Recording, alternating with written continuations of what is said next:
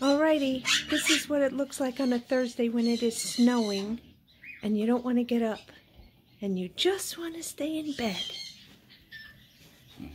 Look at this guy. Hi, good morning. Good afternoon. He's like, nope, I want to stay in bed, all snuggled up. Here's the uh, blanket that Brooklyn made for Sammy. He loves snuggling with it. Loves it. Look at this, Mickey and Minnie. How cute is that?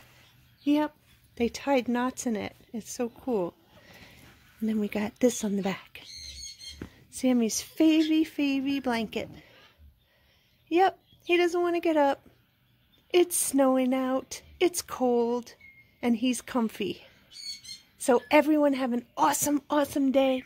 Even Princess wants to stay in bed. so have an awesome day. Stay warm. Stay safe. And everyone in Texas, we're saying prayers for you every minute. Yep, we're so worried about you guys. So please take care of yourselves. We love you, love you, love you. See you soon. Bye, guys. Bye. Good night, Sam. Silly boy.